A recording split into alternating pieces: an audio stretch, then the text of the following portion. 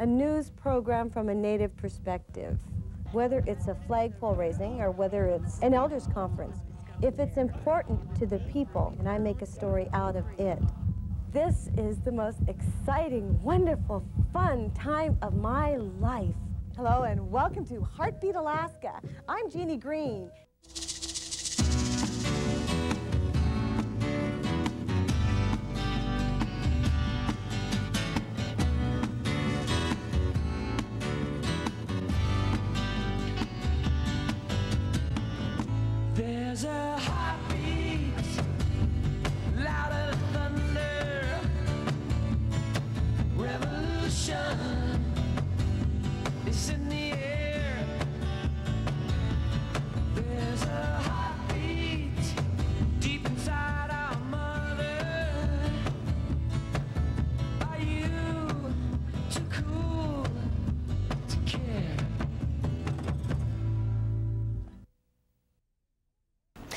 Everyone, and welcome to Heartbeat Alaska Native News, Native Information. I'm Jeanie Greene. Thank you so very much for joining us. Today, we have a very special show to bring you. It's all about the Eklutna Child Advocacy Center. The native village of Eklutna lies just outside of Anchorage. There are 250 people that live there. Anchorage is Alaska's largest city with over 250,000 people, yet a handful of people, only about a dozen, and this tribe are making a huge difference in Alaska's and Anchorage's foster care system. I'll be back with the dream of Eklutna right after this. There's a heartbeat louder than thunder. Revolution. Bye, Dad. Bye, Junior. From generation to generation, the passing down of tradition has been the native way. You never eat snow because it'll always it'll get you tired. Survival in the Alaska wilderness depends on one's knowledge of ancient native secrets. Nowadays we carry this.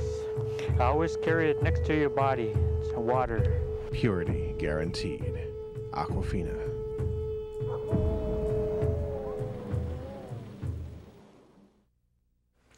Good morning, Island Air. Island Air has been serving Kodiak Island for over 20 years, with scheduled service and charter service to six different destinations around Kodiak Island, the mainland, peninsula, and up and down the Aleutian chain. Island Air offers quality service at affordable rates. And if you love to fish, Island Air would love to take you there. They offer same day fly in fishing and bear viewing trips.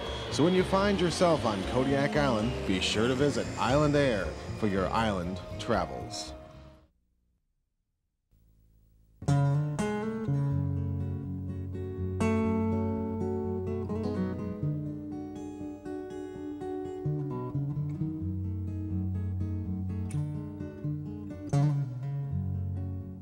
This is a story about the future. Last night I heard the wind come down from a high hill. The future of a group of over 500 Alaska natives. Your time's coming. It's a story about a handful of ordinary people working against impossible odds to do the right thing. It's a story about the dream of one man and the dreams of native children from every corner of Alaska. My mom told me I, I spoke nothing but Indian, the Athabascan, Athabascan language. And when they took me away, I, I lost all contact with my natural relatives. Uh, um, my relatives were looking for me, but um, the welfare said she was adopted out and that's it. We can't give the information out. Ruth Demit lives in this modest house on the north side of Anchorage. She's at a point in her life now where she can look back at what happened to her and realize it doesn't have to be that way. My friend told me, she said, well, you know, social workers that come in and they, they, they come and take you, take you away from your mom and dad. And I says, no. And she says, yeah, they'll come and take you away. So I was, my mom had dressed me up and um, I kept on asking my mom, why is she coming, you know, and, and she said, oh, she just want to come and visit and see how you're doing. And I still, I had this fear, you know, so anyway, even though I was dressed up and everything, I told mom I was going outside for a minute. And I ran away down the highway to my girlfriend's place and I was trying to hide there. Life, you know, I always had a fear of mom either giving me away or mom's to leave me or something like that. Ruth's experience is just the tip of the iceberg. There are countless stories of Native children taken away from their homes, taken from their villages, and brought to bigger cities like Anchorage. Many of these children grow up not knowing where they came from, not knowing what happened to their families.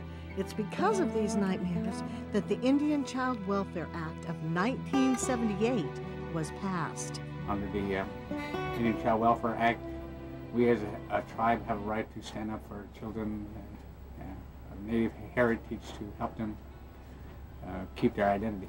The Indian Child Welfare Act gives tribal governments a voice in the welfare of a Native foster child. Tribal governments can now work to keep Native children in their villages, preferably with other family members. If a child can't stay with other family members, then the next best alternative is a Native foster home. The law now lets the best interest of the child be the guide for placement. If a non native family wishes to adopt a native child, the tribal council can work with the state to make sure the placement is in the best interest of the child. This act uh, places native preference for, for both adoption and foster care. And this also gives more, more a determining role in placement for children with the input of the tribes. The act acknowledged and tried to correct many tragedies of the past. It was a complete shift in the way Native foster children were dealt with, but it also brought a whole set of problems. We don't have enough Native foster homes.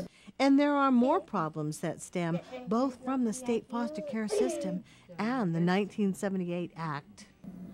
They, they get moved around a lot. Um, and to make sure that children are safe out there have homes, have clothes on their back, have a roof over their head, have a warm meal at least once a day um, is important to me. I know that there are a lot of Native children out there who are who have less than that. Ruth now cares for foster children of her own. She was gracious enough to let Heartbeat Alaska into her home, but because of privacy concerns, we cannot show any of her foster children. Her grandson Adam, however, was more than happy to be on TV. Sometimes she sees the same fear in their eyes that she felt herself as a foster child. There's a social worker that came by to see him, and this little this little child took one look at the social worker, and he, he got scared, and he just kind of climbed up in my arms, hit his little head, his face in my armpit, and he wouldn't turn around to look at him. It would be wrong to say that non native foster homes are not just as loving and just as supportive. But despite all the best intentions, often it just feels like something is missing. Uh, we had a, a, man who came to speak to the, um, I think it was the Independent Tribal Council, and he was a psychologist from down in Oregon. He's done a lot of Native studies. And he said it was his thing that we should not worry so much about bonding and removing native kids to place them from other kinds of homes into native homes because in the end we're doing them a favor even though at the time it may seem really damaging. And he talked about a family on his caseload where they, he asked the kid, um, what do you want to be when you grow up? And the kid said, I want to be white just like my parents. You know, it's because um, it kind of go some children too, they can go into culture shock, you know, going into a different place, strange, some, especially those ones in the villages coming into to the city.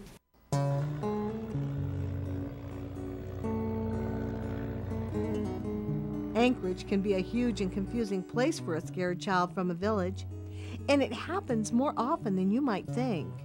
Well over half the foster children in Anchorage are native, and there is simply not enough native foster homes, not even close.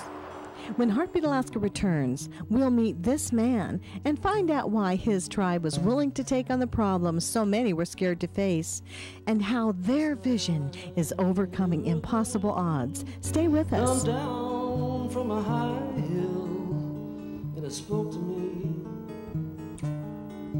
Your time's coming. Support for this program provided by Blue Cross Blue Shield of Alaska. We've been here since before Alaska was a state, and we'll be here when you need us. We're here. We're with you. Blue Cross Blue Shield of Alaska. Hi, I'm Mark from Scan Home, and we are proud to sponsor Heartbeat Alaska. Scan Home, serving all of Alaska's home and office furnishing needs.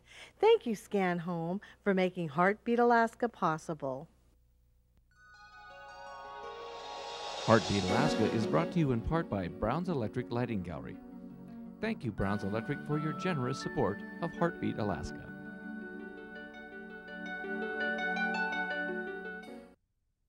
If you want a copy of that, go ahead and grab a copy and attach it back to this and give it back to Lee Stephan is the second chief of the Eklutna tribe. He's the man who saw a problem with his people and took responsibility. Lee Stephan and the seven-member tribal council from the native village of Eklutna are very supportive of our program. Uh, in fact, without uh, Mr. Lee Stephan's vision, which was to open the Eklutna Child Advocacy Center in 1997, that we wouldn't be here. The purpose of the tribal government is to provide for the tribal people, to provide for the people. We saw that uh, long before land claims come along. The governments were there, they're providing services, everybody was uh, happy. There are about 250 people in Eklutna and over 250,000 in Anchorage. But the tribe doesn't have time to think about the odds. They just have time to do what they can for the native foster children and do it the only way they know. That uh, the best way to affect change is the tribal governments take on the responsibility. It was his, he's a grandfather now, and I think it was his feeling that a generation of children was escaping in the sense that they weren't being taught the village values and other things. The tribe's vision is a central place where native foster parents, children, and their biological parents can go to get help and learn the skills they need to make it through this rocky time in their life. Our vision is a, a holistic uh, service system, and all tribes uh, will accomplish this eventually. But the minute they walk into our doors, the judge has said I have to do these certain things. I wish to have them all in the same building. You have to address some mental health issue you have. You have to address some alcoholism you have. You have to address uh, drug addictions, uh, anger management, uh, parenting skills. Whatever it is that judge said, in order for you to keep your kids, you got to do all these things. We will have that at our advocacy center. Lee just sort of um, started off, and you have to know Lee, but um, he had this idea, and so he started looking around for some money to put it together. Now, in the corner of this small office building in downtown Anchorage, the Eklutna Child Advocacy Center works hard to match Native foster children with Native families. It's not an easy job. Okay. On any given day, our referrals, the calls come in, and we don't have anywhere to, we have nowhere to place these children. Nick Andrew Jr. works in this little office with no windows. He spends most of his day trying to line up Native foster families with Native children that need a place to stay. Every time he sees his own son, he's reminded of how important his work is. It, it, it gives me a sense of accomplishment. You know, we've, we've had a few cases in the past where the families are reunited. Uh, that's one of our goals here, and that's a good feeling. And when we're when a native foster child is placed in a native home, I, we have a, here at the um, Eklutna Child Advocacy Center, we have a sense of accomplishment. We try to become a sort of a one-stop shop. Pat Kennedy is the executive director of the Eklutna Child Advocacy Center.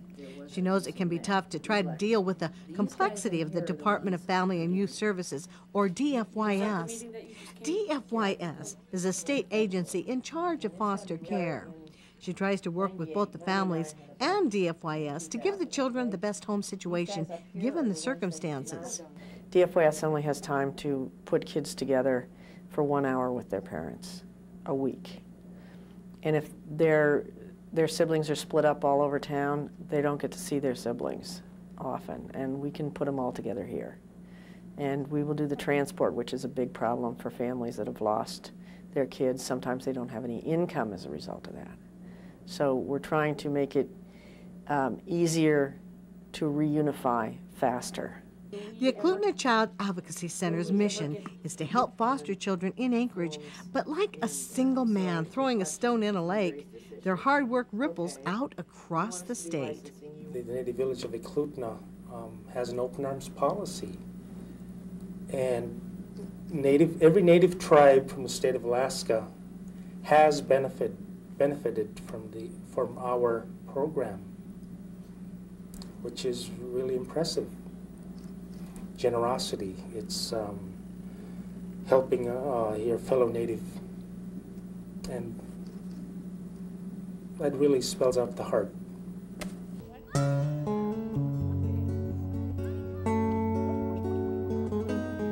When Heartbeat Alaska returns, we'll meet some of the lives the Eklutna Child Advocacy Center has touched and find out what these kids did last summer. Stay tuned. I listen to the wind, the river through the trees, strange ships, strange ships sailing. If you're interested in becoming a foster parent and you live in the Anchorage area, call the number on the screen. And if you're watching elsewhere, perhaps in a remote village in rural Alaska, call your tribal office. If you can't become a foster parent, would you give a hand to someone that is? I'm sure they'd appreciate the help. I'll be back with more Heartbeat right after this. I know my daughter. She's just like me. Works for every grade she gets. She thinks I dress like an idiot. And she wishes her chest were bigger. she knows people who do drugs. I know she doesn't do them. I know because I ask. I ask all the time.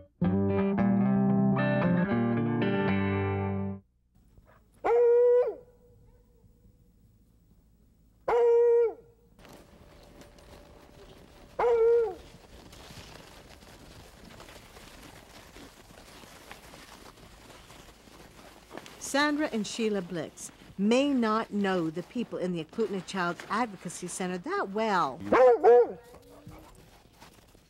But the course of their lives was forever altered by their work. Sandra and Sheila were living in a non-native foster home in Anchorage. When their foster parents decided to move to Texas, Nick Andrew went to work. Rose Westcoast, the girl's aunt, wanted to take them in. Working with Nick, she was able to wade through all the paperwork and red tape at DFYS. Nick and Rose also work with the tribe at Goodnews Bay. Now, after school, the girls come home to a peaceful house outside Wasilla. The girls love to care for Buddy, the family's dog. On good days, they'll take him for a run with some help from Larry Jolin, a friend of the family. You guys get him ahead. The little house in the Get woods is full of life tonight with Rose's brother and his one son visiting from Goodnews Bay. Oh, Living with Rose has allowed the girls to learn more about Native life. This summer, the whole family went to fish camp at South Naknek Beach. Yeah, we had to beach comb and gather beech wood for the cabin and for the smokehouse. They stayed there for two months of hard work and learning. The kids had a blast. Learning experience for them and they had fun. And we picked a lot of berries and put up a lot of fish. The girls are already looking forward to next summer. They may not realize it right now, but experiences like these will change the way they look at the world for the rest of their lives. It'll stay with them for a long time and um, if they, they decided to do it in the future, that'll help them a lot. Rose decided a while back to adopt the girls. With help from the Eklutna Child Advocacy Center, she's been working through the adoption process. So we had a lot of help from ICWA, the people in Bethel, and I had a lot of help from Nick.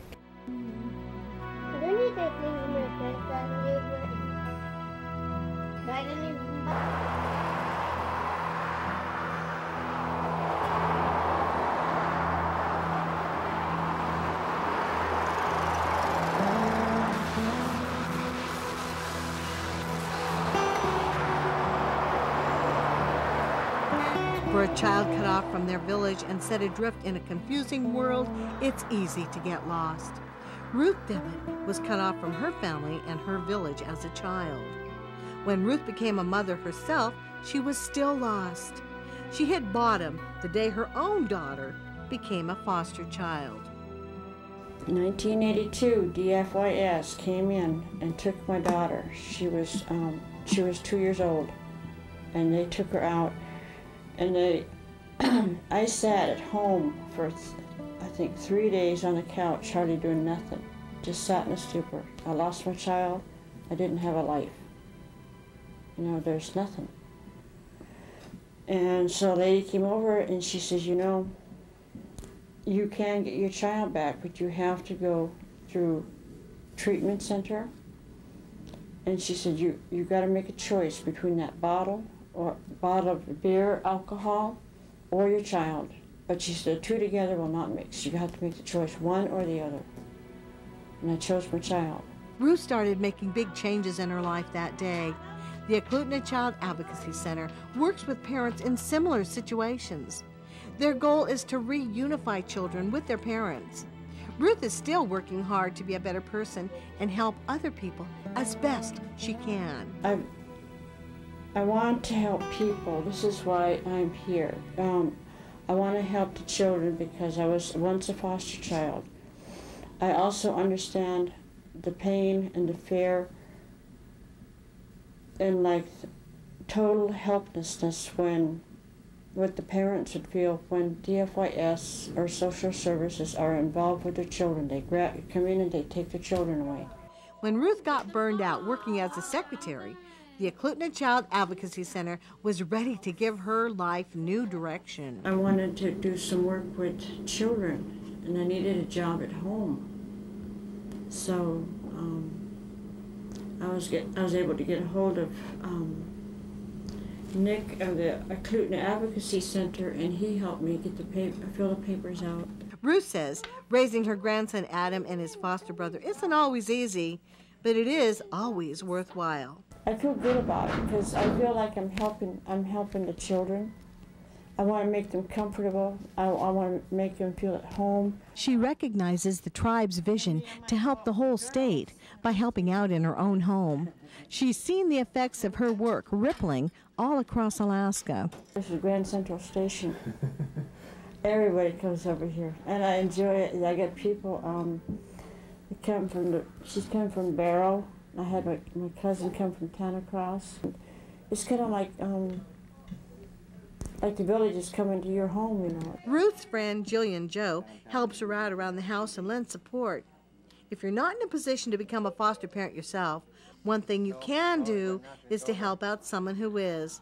Just little things like making a run to the store or sitting and talking can do wonders for a busy parent. Gilliam enjoys being with the kids. He knows that there's ups and downs, but he takes it all in stride. Sometimes they get they, they wake up wrong side of the bed probably. They just whine all day long. but some days they're good all day. Yeah, it's from morning till bedtime. Rose knows the ups and downs as well. Kids have their problems, you know, growing up as becoming teenagers, but it's it's a, they're fun to have around. It's people like Rose that keep everyone at the Eklutna Child Advocacy Center going. We're opening doors for the Native community. And that's what's most important, is we're making a difference here. The people in this little office think a lot about the difference they make. They go about their work using different methods, but define success in much the same way. Success is reunification. Um, that's when children that are in state's custody are returned to the biological parents. That is the best feeling, um, the highest success. I have had um, one, one success. And basically, success is more or less measured one reunification at a time, one foster home placement at a time. That's my approach. With such a small team facing such a big task, it's easy to get scared and overwhelmed. But the folks working here know a journey of a thousand miles begins with a single step. Sometimes they say the only thing to do is one step at a time, one step at a time. I'm, I'm more of a day to day kind of person. Um, what tomorrow brings, I don't know. Yesterday's gone, T- today I'm working on. So I, I try to keep it simple like that. It's a feeling Ruth knows too, not just as a foster parent, but as a mother who knows she's made mistakes. My heart is with the children and also for the mom and dad, mom or dad. I'm willing to talk with them if they wish to talk to me. Um, and I would like to tell them, yes, it's a possibility to turn around. If we want to improve the health and life of the Alaska Native uh, people, um, allow them to do it the way they know how.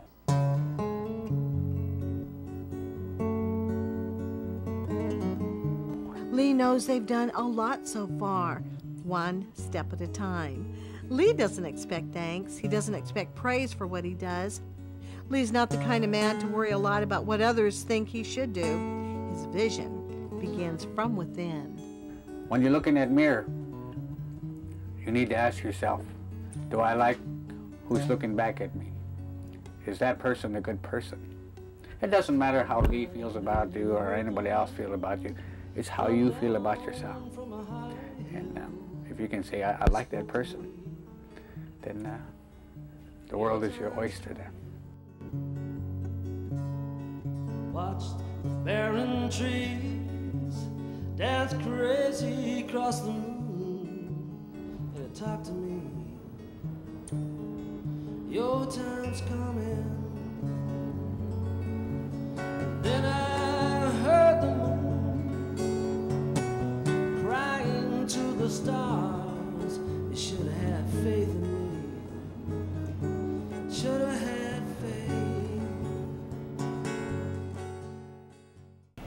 Thank you, everyone, for joining us for Heartbeat Alaska Native News, Native Information. I'd love to hear from you. Please email me at jeanniegreen at ak.net and check out our website at jeanniegreen.com.